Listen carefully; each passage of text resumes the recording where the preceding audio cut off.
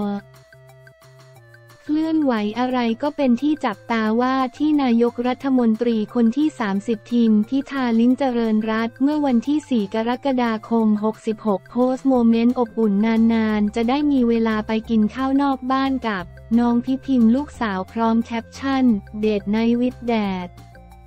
แต่ไม่ไว FC กองเชียร์หลายฝั่งเข้ามาคอมเมนต์โต้เถียงกันนัว บ้างก็สงสัยมีจานสามชุดใครถ่ายรูปให้แม่ต่าย ชุติมา หรือเปล่าบ้างก็บอกเชื่อแล้วว่า โสดจริงอาทิและแน่นอนว่าแม่ต่ายถ่ายเชื่อแล้ว ว่าโสดจริง เพราะที่ดูมาชีวิตคุณพิธาก็มีแต่ประชาชนกับพิพิมส่วนสาวๆที่มีข่าว ก็แฮปปี้กับหนุ่มน้อยไปแล้ว ก็ขอให้คุณพิธาได้เป็นนายกแล้วก็ชนะมันทุกตัวนะครับ ใครเป็นคนถ่ายนะถ้าไม่ใช่แม่ต่าย มีชุดจานสามชุดไหมคะ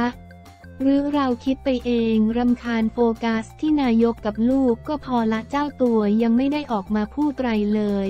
เลิกโยงกับอดีตภรรยาได้แล้วจ้าชุดแก้วจาน พลาสติก พนักงานน่าจะเอามาให้น้องที่พิมพ์ และก็พ่อก็ให้ถ่ายรูปให้ล่าสุดวันนี้ 5. กค66 สำนักงานคณะกรรมการป้องกันและปราบปรามการทุจริตแห่งชาติ ปปช มีการประกาศเปิดเผยบัญชีรายการทรัพย์สินและหนี้สินของผู้ดำรงตำแหน่งทางการเมือง โดยในส่วนของว่าที่นายกรัฐมนตรีทิมพิธาบอกละเอียดทรัพย์สมบัติทำเอาโซเชียลแห่แชร์กันรัวแถมได้เลขเด็ดงวดนี้กันแล้วแฟนหวย โดยโพลีพลัสโพสเช่นกันว่า งวดนี้มาหลายตัวแท้หลักพ่อเลือกไม่ถูกเย่แดดดี้พิธา แจงทรัพย์สินปปชละเอียดยิบ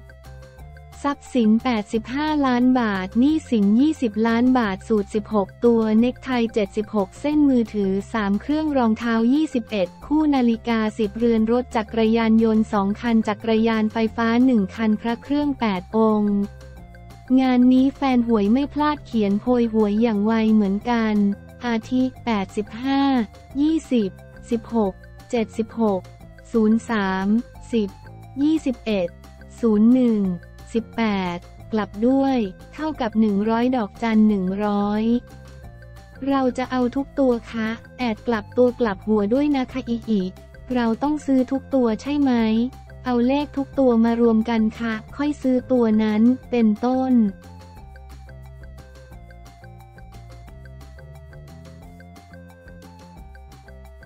ประเสริฐชี้ก้าวไกลต้องปรับกลยุทธ์ดึงเสียงโหวตนายกรัฐมนตรี เผยพอทอ ช่วยดีลสวเยอะประเสริฐชี้ก้าวไกลต้องพิจารณาปรับกลยุทธ์เองเพื่อประโยชน์ในการโหวตนายกรัฐมนตรี เผยช่วยดีลสวเยอะระบุไม่มีแผนสำรองหากรอบแรกพิธาไม่ผ่านโหวตเมื่อเวลา 10นาฬิกา20 นาที วันที่ 7 กรกฎาคม 2566 ที่รัฐสภานายประเสริฐจันทรรวงทองสอสอบัญชีรายชื่อ และเลขาธิการพักเพื่อไทย พอทอให้สัมภาษณ์กรณีการโหวตนายกรัฐมนตรี วันที่ 13 กรกฎาคมนี้กังวลท่าทีของสวหรือไม่ว่า เท่าที่ฟังมีแค่สวบางส่วนที่แสดงความคิดเห็น แต่เข้าใจว่าสวส่วนมากยังสงวนท่าที คิดว่าการตัดสินใจของสว จะตรงกับความต้องการของประชาชนเมื่อถามว่าจะพูดคุยกับพักก้าวไกล กิโลกรัม ในเงื่อนไขมาตรา 112 ของสว เพื่อปิดข้ออ้างและผลักดันให้นายพิธาลิ้มเจริญรัตหัวหน้าพักก้าวไกล และแคนดิเดตนายกรัฐมนตรี เป็นนายกรัฐมนตรีตามเจตนารมณ์หรือไม่นายประเสริฐกล่าวว่า เป็นเรื่องที่พักก้าวไกลต้องพิจารณาเรื่องนี้ ส่วนในนามพักร่วม 8 พักเคยพูดคุยเรื่องนี้กันมาก่อนหน้าแล้ว ดังนั้นเรื่องนี้จึงมีความชัดเจนระหว่าง 8 พักร่วมส่วนกรณีนายกรัฐมนตรีเป็นเรื่องที่พักก้าวไกลต้องไปปรับกลยุทธ์เพื่อประโยชน์ในการเลือกนายกรัฐมนตรี เมื่อถามว่าท่าทีของสวชัดเจนเรื่องมาตรา 112 ทำให้มีการคาดการณ์ว่านายพิธาจะไม่ได้รับเลือกในรอบแรก นายประเสริฐกล่าวว่าหากฟังจากแกนนำพักก้าวไกลจะเห็นชัดเจนว่าเขามั่นใจว่าจะผ่านพักก้าวไกลให้ความมั่นใจมาตลอด ว่าสวจะสนับสนุน ก็ขอให้ดูการโหวตก่อนเมื่อถามว่าทางพักเพื่อไทยได้เดินสายขอความร่วมมือกับสวด้วยหรือไม่นายประเสริฐกล่าวว่าพักเพื่อไทยช่วยเป็นบางส่วนแต่ตัวหลักเป็นของพักก้าวไกลเอง ฉะนั้น แกนนำทั้ง 8 พักหากใครรู้จักว่าท่านใดก็พยายามทำความเข้าใจอยู่ แต่ส่วนใหญ่คือพักก้าวไกลต้องเดินเป็นหลัก เมื่อถามย้ำว่าพักเพื่อไทยขยับช่วยในเรื่องนี้เยอะหรือไม่ นายประเสริฐกล่าวว่าก็เยอะอยู่ ในช่วง 2-3 วันนี้ต้องทำการบ้านอย่างหนัก เพราะเหลือเวลาไม่ถึงสัปดาห์ก็จะเลือกนายกรัฐมนตรีแล้วเมื่อถามว่าโค้งสุดท้ายมีอะไรแนะนำพักก้าวไกลหรือไม่ นายประเสริฐกล่าวว่าพักก้าวไกลมีความสามารถอยู่แล้ว แต่อยากแนะนำให้ทุกฝ่ายสร้างบรรยากาศในการเลือกนายกรัฐมนตรีไม่ว่าจะฝั่งสอสอหรือวอหรือประชาชนขอให้คำนึงถึงผลประโยชน์ที่ประเทศชาติ และประชาชนจะได้รับเป็นหลักในการพิจารณา เมื่อถามว่า 8 พักร่วมมีแผนสำรองหรือไม่ หากโหวตรอบแรกนายพิธาไม่ได้รับเลือก หรือกรณีที่มีการเสนอชื่อแข่งแล้ว สวไปสนับสนุนนายประเสริฐกล่าวว่าเราไม่มีแผนสำรองหากในรอบแรกไม่ผ่านคงต้องกลับมาคุยกันอีกครั้ง ส่วนที่มีข้อกังวลว่าอาจจะมีพักที่เคยเป็นขั้วเก่าของรัฐบาลเสนอคนแข่งนั้น นายประเสริฐกล่าวว่า หากฟังจากการให้สัมภาษณ์ของพักรวมไทยสร้างชาติ และพักภูมิใจไทย จะเห็นชัดเจนว่าไม่สนับสนุนรัฐบาลเสียงข้างน้อย ซึ่งเรื่องนี้ก็เบาใจได้ระดับหนึ่ง แต่การเมืองอะไรก็เกิดขึ้นได้จึงเป็นเรื่องที่แกนนำทั้ง